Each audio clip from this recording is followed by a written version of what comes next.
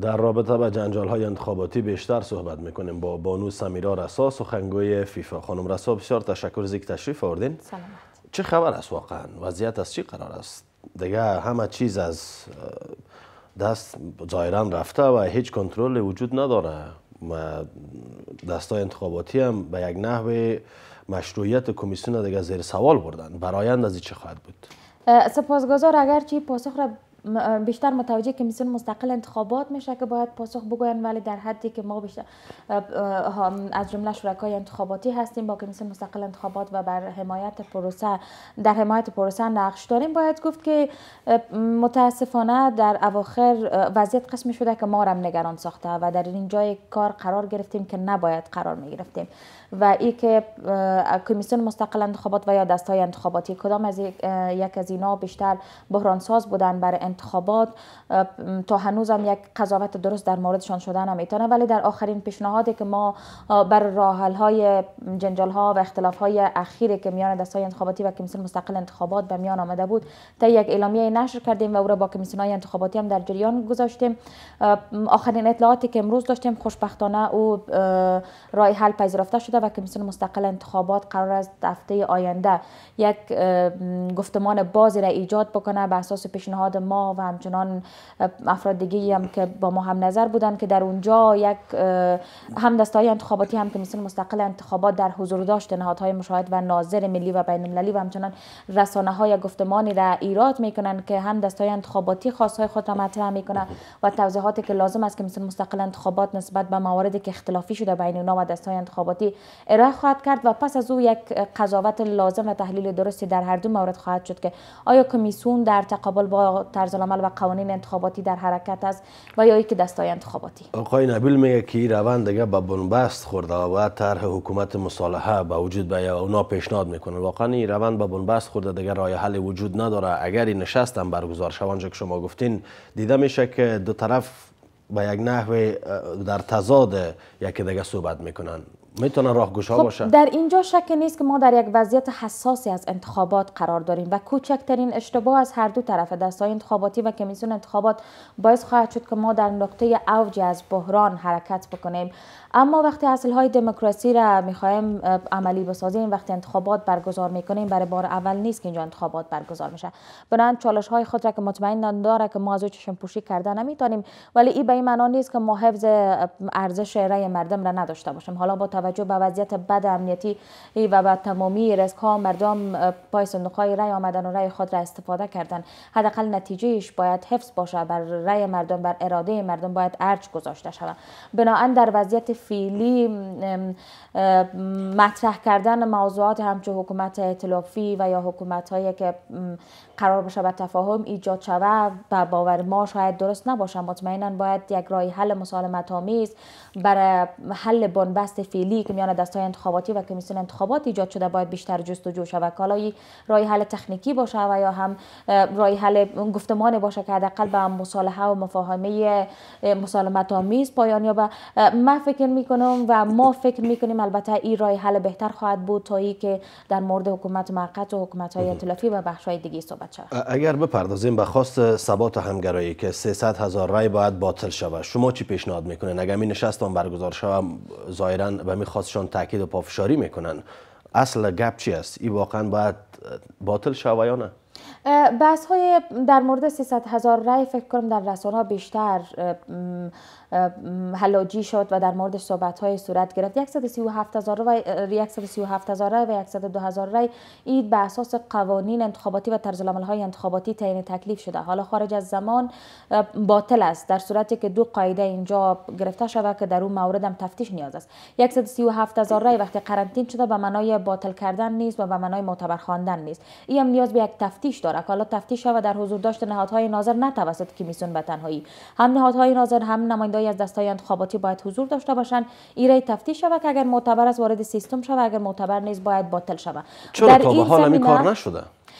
مطمئنا عدم پاسخگویی کمیسیون مستقل انتخابات عدم وضاحتش و همچنان فیصله گیری ها و تصمیم های که در ابهام صورت می‌گیره توسط کمیسیون بیشتر باعث شده کمی اختلاف ها و نزاع ها بین دستای انتخاباتی و کمیسیون مستقل انتخابات هر روز گسترده تر شود و این اوج بگیره و متاسفانه اثراتش متاثر بسازه پروسه انتخابات امیدوار هستیم به زودترین فرصت و پس از رای حل پیشنهادی ما اگرچه دیر اقدام کرده کمیسیون مستقل انتخابات نسبت به این مورد ولی امیدوار هستیم یک رای حل باشه و یا یک روشنی باشه بر حل بحران.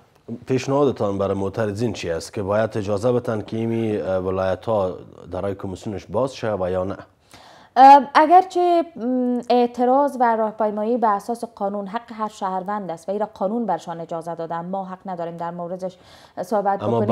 اما وقتی که به این قیمت که بیان یک روند ملی را واقعا اخلال کنند؟ در میایم بله ولی زمانی که دستای انتخاباتی و حامیان از اینا باعث میشن تا ای که یک پروسه ملی صدمه برسه باز تا این جای کار خیلی هم قابل پذیرش نیست. اینا اجازه بدن تا ای که کمیسیون مستقل انتخابات نمایندگی های خود باز بکنه نماینده ها و رهبرای از دستای انتخاباتی به صورت مسالمت آمیز صحبت های داشته باشند در مورد منازعه و اختلاف هایی که دارن. اینا طرف سوم یعنی نهادهای ملی و بین المللی ناظر را که بیطرف در انتخابات هستند می شود که به عنوان میانجی استفاده بکنن بر حل مسالمت آمیز اختلاف های اخیر ولی در تکلیف حقوقی هفت ولایت هم باید روشن شود و در این ولایت ها تعدادی از مراکز است که مشکوک هستند و ما خواهان بازشماری و همچنان تفتیش در رئیس کمیسیون در رابطه به این نشست که شما یادآوری کردین هیچ چیز نگفته. اما گفته که در صورت بسته ماندن امی هفت ولایت ما میریم به طرف یک تصمیم. امی تصمیم ما بارها از خود اعضای کمیسیون هم پرسیدیم ولی پاسخ واضح نمیتن.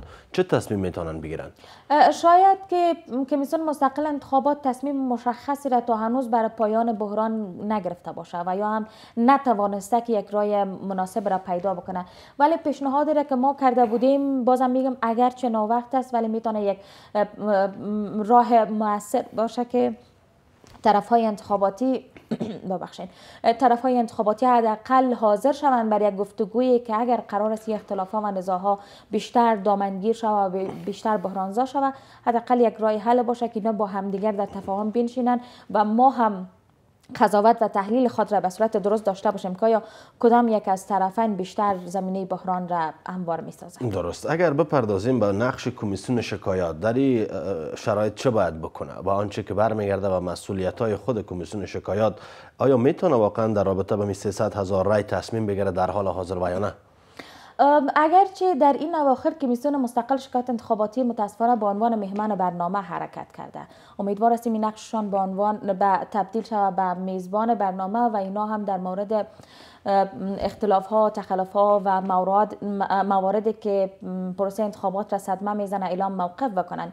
و اینا به اساس قانون ماده 90 را اگر مطمئنن که توجه کردن و اینا نخواستن عملی بسازن در قانون انتخابات گفته اگر شکایت هایی هم بر از اینا مواصلت نمی‌کنه ولی اینا تخلف ها و موارد را می‌بینن که صدمه می‌زنه حداقل سلامت پروسه را و در این وضعیت اینا باید وارد پروسه شوند و موقف خود را روشن بسازن به عنوان مرجع حقوقی معتبر معتبر و قانونی و قابل اعتبار اینا باید حداقل حضور خود را اینجا نشان بدن و کمیسیون مستقل انتخابات را پاسخگو بسازن دستای انتخاباتی را که هفت ولایت را مسدود کردن اونا را قانی بسازن کمیسیون انتخابات را نسبت به نقص تقویم و اعلام تقویم در اعلام نتایج اعلام نتایج قسمی حداقل مواردی هست که تا جای نیاز است که کمیسیون شکایت انتخاباتی باید اعلام موقف کنه اگر بپردازیم به نشستی که قرار است حالا انجام شود. این چه زمانی است و بحث اعلام نتیجه دیگه ظاهرا دیده میشه که گنگ مانده. چه زمانی باید بریم به طرف اعلام نتیجه ابتدایی بدون هفت ولایت؟ آیا ممکن است کدام تصمیم گرفته شود؟ پیشنهاد شما چی است؟ کدام تصمیم گرفته شود؟